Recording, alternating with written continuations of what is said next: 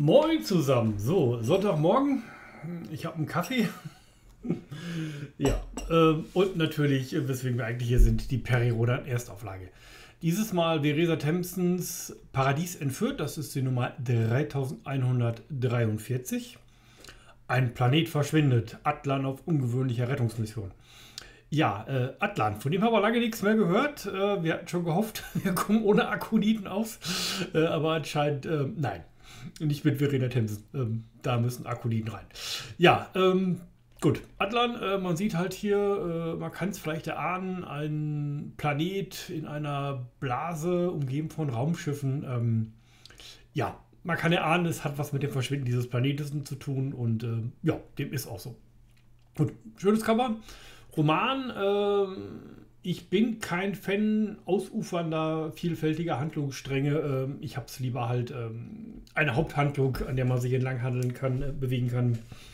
Ja, und das war natürlich jetzt wieder ein ganz abrupter Schauplatzwechsel ähm, mit mehreren Handlungsebenen, also so Dinge, die ich eigentlich so gar nicht mag. Also ähm, das war dann eher so, so, so ein sogenannter Samstagsroman, also den ich dann so freitags nicht zu Ende lese.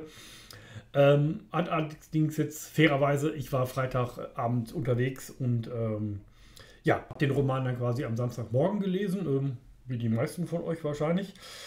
Ja, ähm, war so ein bisschen mehr am Anfang Pflicht als äh, Kür oder Vergnügen. Ähm, allerdings muss ich sagen, ähm, zum Schluss hat er mir doch recht gut gefallen. Also äh, am Schluss fügen sich so ein paar Puzzlesteine zusammen. Es ergibt so ein halbwegs rundes Gesamtbild. Ähm, ich würde sagen, da gebe ich mal zweieinhalb Punkte. Also am Stück definitiv nicht gelesen, war jetzt aber auch nicht so, dass ich sagen würde, okay, den, da habe ich mich jetzt mit mehreren Etappen durchgequält. Ähm, ja, zweieinhalb, würde ich sagen, genau. So, worum geht es in Roman? Also die Arkoniden äh, planen mit Hilfe des unsterblichen Atlans ein etwas Großes, und zwar ähm, das Akkonsystem soll quasi wieder auferstehen, und zwar mit seinen drei Hauptwelten quasi als Ring, ähm, Akkon 1, 2, 3. Ähm, und dafür wird dann quasi der Planet der äh, Shivu als Akon 3 auserwählt ähm, und dann auf die Reise geschickt. Also äh, Sense of Wonder definitiv nicht zu knapp. Ähm, ja, ich würde sagen, da tauchen auch noch ein paar Leute auf nach dem Cut. ich würde sagen, das gibt äh, in puncto Sense of Wonder definitiv volle zwei Punkte. Das, ähm, ja, war so ein Fan der technischen Science Fiction, glaube ich. Ja, doch. Gut, hatte zwar noch einen anderen Anteil, aber ähm, ich würde sagen, das äh, überwiegt eigentlich in Summe und ähm, ich würde jetzt mal zwei Punkte für Sense Wonder geben. Vor allem da noch ein paar auf Leute auftauchen. Ja, Relevanz-Zyklushandlung, äh, ja gut, wieder trotz des abrupten Schauplatzwechsels, ähm, äh, wie gesagt, den neuen, bisher noch nicht, überhaupt noch nicht betrachteten Schauplatz M13, der wurde zwar, also gibt es zwar einen Brückenschlag halt zum vorigen ähm, Vierer-Block in der Milchstraße, da gibt es einen direkten Anknüpfungspunkt, das passt. Ähm, und es gibt einen direkten Anknüpfungspunkt zu Perioden 3100, also dem ersten Roman des Zykluses. Da wurde ja schon angewähnt, äh, die Akoniden planen Großes, aber das wurde äh, elegant umschifft, äh, großzügig ausgespart und ähm, ja, 43 Wochen später, ich weiß nicht, wie viele Monate das sind jetzt, ja gut, das sind äh, ja bestimmt 10 Monate, ne? ähm, geht es dann wieder zurück nach Arkon. Also ähm, das hätte man vielleicht theoretisch irgendwie auch schon mal äh, ganz am Anfang mit anreißen können. Äh, hat man ja auch gemacht, also nur ansatzweise halt von daher ist jetzt nicht so ganz aus dem Zyklus rausgefallen. Ich würde da jetzt mal einen Punkt von zwei vergeben. Ähm, ja. So am Anfang war es wirklich so, dachte boah, nicht schon wieder neuer Schauplatz. Äh, das äh, war so, fühlt sich so ein bisschen Rücksturz nach Zyklus, äh, Mythos an. Ähm, da wurde dann irgendwann auch so äh, später irgendwann mal Akul aus dem Hut gezaubert und äh, alles an Interesse dann dahin verlegt. Äh, ja, kann man machen, muss man nicht, äh, kann man sich drüber streiten. Ja, zur Leistung des Autors, ja, ähm, so ganz rund fand ich diese Symbiose aus Technobubble, was natürlich dann so ein technisches Großprojekt der nachher auch ist, äh, technischer Groß, technisches Großprojekt, das war eigentlich schön beschrieben. Äh, und wohl der unvermeidlichen Rettung eines hilflosen, primitiven und neuen einer neuen Spezies, ähm, das war irgendwie nicht vermeidbar.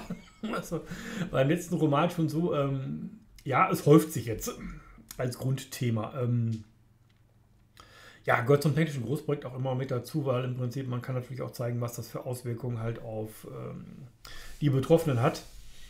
Wobei man dann äh, meiner Meinung nach einfach die Trifoda hätte nehmen können oder irgendein wichtiges Volk halt, dass man nicht sagt, wir suchen halt irgendwie so ein vergessenes, äh, neu aufgetauchtes, äh, ganz junges Volk auf äh, oder Spezies aus, die dann halt irgendwie darunter zu leiden haben, sondern ähm, ein Folgeroman hätte, glaube ich, dann wirklich schon einen Tefroda-Planet da leiden lassen können.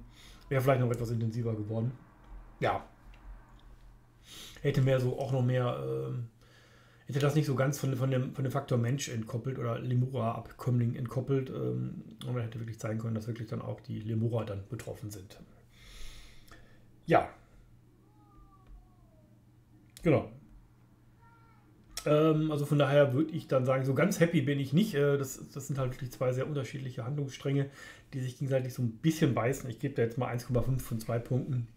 Ähm, den Teil kann man natürlich, natürlich auf dem Exprokraten zuweisen. Ähm, ja, also war in sich schon schön stimmig geschrieben halt, aber es ist, es ist schon, da prallen zwei Welten aufeinander. Ja, in Summe sieben Punkte. Ähm, ja, ich glaube, also ich bin kein Fan von diesen abrupten Schauplatzwechseln, von diesen äh, übergangslosen Dingen. Ähm, ja, ich glaube, das äh, gibt dann halt immer Punkteabzug beim, äh, beim Zyklus Flow. Ähm, ja, ist immer schade für den ersten, der das dann ausbügeln muss und ähm, irgendwie dann wieder auf, auf Fahrt bringen muss. Äh, ich glaube, das ist jetzt leider so ein wiederkehrendes Muster. Also am Anfang fand ich es im Zyklus deutlich schöner gelöst, einfach längere Blöcke die ineinander überfließen. Und ähm, ja, mit dieser abrupten Wechsel bin ich kein Freund von. Da fehlt irgendwie so der Zusammenhang zwischen diesen beiden Handlungssträngen und ähm, ja, der wird wahrscheinlich am Ende zusammenlaufen, aber ähm, das Umblenden, das klappt noch nicht so ganz. Ja, in dem Sinne, sieben Punkte. Ich würde sagen, jetzt machen wir auch mal einen Cut. Also, wer den Roman noch nicht gelesen hat, also ähm, am Anfang äh, war es ein bisschen ungewohnt, aber ähm, am Ende überzeugt er dann doch irgendwie halt. Also von daher ja, lest ihn. Ähm, es ist, glaube ich, ein wichtiger Schlüsselroman. Ähm, er verknüpft eine ganze Menge Fäden wohl anscheinend. Ähm, verknüpft noch mal so zum Anfang nach Arkon. Ähm, ja, ähm, und so weiter und so fort. In dem Sinne, einen Cut. Wer noch nicht gelesen hat, schaltet aus und liest ihn oder hört ihn. Und ähm, ja, dann sehen wir uns wieder, wenn ihr ihn habt. Okay, für die, die noch hier sind, ja, gut. Ähm, wir erleben äh, das Ganze so ein bisschen aus der Sicht äh, einer Ak Akronin, ähm, die halt im Prinzip so Feldforschung bei diesem Volk der, ähm, wie hieß der nochmal, Shivu betreibt. Ja, ist so, so, so ein bisschen so, äh, geht so ein bisschen so zurück zu, ich glaube, zu Atlants Jugend, Atlantis-Geschichten. Habe das Raumschiff Wolfsschwester deutet auch schon so die Ecke hin, dass man so wirklich so wieder ähm, als hochtechnologischer Mensch dann in so eine primitive Gesellschaft zurückgeschleudert wird oder ähm, ganz am Anfang ihrer Entwicklung stehende Gesellschaft zurückgeschleudert wird. Ähm, ja, hat so ein bisschen so ein Steinzeit-Feeling halt, so mit Schamanen und ähm, als Geist und äh, ja. Ja, ich denke, ist definitiv eine Reminiszenz. Also, das fand ich auch eigentlich ganz schick, ganz nett. Ähm, das technische Großprojekt kam ein bisschen kurz, meiner Meinung nach. Das hätte man vielleicht etwas äh, ausführlicher machen können. Äh, da hätte man natürlich quasi dieses ähm, kleine Volk dann wirklich komplett rausstreichen müssen oder äh, anders machen müssen. Ja, ist immer schwierig. Also ähm, man hat ja meistens so die Wahl zwischen Pest und Cholera. man muss es irgendwie gewichten, irgendwie äh, machen. Und das ist natürlich dann Aufgabe der Autorin, des Autors. Ähm, und ja, also in Summe, als ich ihn zugeklappt habe, war ich damit zufrieden. Das passt schon. Äh, man hätte es natürlich ein bisschen technischer machen können, aber ähm, ist jetzt in Ordnung. Ja, ähm, so ein paar Puzzlesteine fügen sich zusammen. Äh, ich hatte es ja schon mal erwähnt. Also im Prinzip, noch, es kommt noch ein bisschen mehr Sense of Wonder. Im Prinzip, wir haben unsere Judoren wieder mit dabei, die da wo anscheinend äh, Menschentechnologie oder Milchstraßentechnologie scheint sich wohl mit ein bisschen der Technologie der Kosmokraten der Judoren zu beißen. Ähm, ja, auch mal ein ganz interessanter Ansatz. Also macht die, die Technik so ein bisschen greifbarer. Ähm, bisschen geerdeter. Ist nicht halt so diese abstrakte Übertechnologie, sondern äh, ja, es gibt Interferenzen, das fand ich ganz schön geschrieben, ja. Und äh, Musagai scheint wieder ihre Finger da im Spiel zu haben. Also, ähm, sie wurde ja schon im, im, vorletzten Roman des letzten Zyklus, im Mythoszyklus, mit erwähnt. Also, das scheint so äh, eine größere kosmische Handlung zu sein, halt. Im Prinzip erstmal die, die äh, hat ja im Prinzip, das Ganze hat ihren Anfang ähm, bei der Kandidatin Fatum genommen, die natürlich dann die Kairaner vertrieben haben, die sich in der Milchstraße breit gemacht haben, äh, die dann irgendwann von dann gezogen sind mit ihrem Equipment. Äh, das schien wohl so alles in Musa Geist Plan zu sein. Und ähm, gut, äh, die Leuchtkraft hat den K.O. Porter da in, in der Nachbargalaxie äh, Cassiopeia stranden lassen. Äh, die Kosmokraten bauen was in der Milchstraße. Ja, ich glaube, da äh, wir sind wieder ganz zurück bei den hohen Mächten und zwar ganz oben. Gut, ja, finde ich nicht schlimm. Äh, ich bin mal gespannt, ob es noch mal irgendwann wieder auftaucht, weil so eine eigene Superintelligenz wäre da doch ganz nett, wird das Bild wieder vervollständigen und ähm, ja, obwohl ohne S ist natürlich dann die Galaxis, die Menschheit, äh, Perry und mal seine Mann dazu gezwungen, halt selber ein bisschen größer, äh, in größeren Dimensionen zu denken.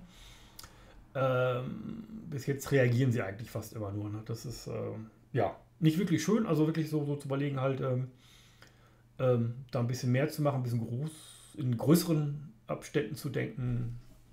Glaube ich, das würde Perry-Aktivator-Trägern vielleicht nicht, nicht, nicht schlecht tun ähm, oder ganz gut tun. Ja, in dem Sinne, ja, würde ich sagen, das muss hiermit gut sein. Schöner Roman. Also, ähm, er bessert sich, er steigert sich, äh, definitiv. Ähm, ich habe mit einem recht guten Gefühl zugeklappt. Also, sieben Punkte ist jetzt auch nicht das Schlechteste. Also, ähm, ja, definitiv lesbar. Also, ich denke, es ist auch ein wirklich wichtiger Schlüsselroman, der einfach dann auch ähm, für die Handlung wirklich wichtig ist. So als Dreh- und Angelpunkt. Äh, verbindet es eine ganze Menge, so eine Art Verbinderroman. Ja, also, er ist wichtig. Lest ihn. Auch wenn es vielleicht äh, nicht ganz so flüssig fluppt wie bei anderen. Ja. Ja, was gibt es sonst so Schönes? Äh, gut, Wetter ist draußen bewölkt. Ich bin eine Runde spazieren gehen, klärt aber trotzdem den Geist, hebt die Stimmung. Äh, Bewegung tut gut. Also von daher, ja, warme Jacke auf, Mütze auf und dann man kann, ist es kein Problem. Ja, sonst noch so. Ähm, ich lese gerade noch äh, den Abercrombie weiter. Das ist gut, das ist Fantasy. Ähm, und ganz aktuell ihr seht ja schon halt ähm, an der Seite hier, ich habe hier meine vier Hydrogol-Romane. Ähm, der fünfte ist aus dem Lektorat zurück. Ich habe die erste Durchsicht schon heute Vormittag beendet. Das heißt so, dass äh, das, was offensichtlich äh, verbesserungswürdig ist, ähm, Formulierungen habe ich dann einfach gemacht, übernommen. Es gibt natürlich so ein paar Kommentare, wo man sich erst denkt, boah, ist das wichtig? Und dann denkt man sich, ja, shit, da hast du wieder recht.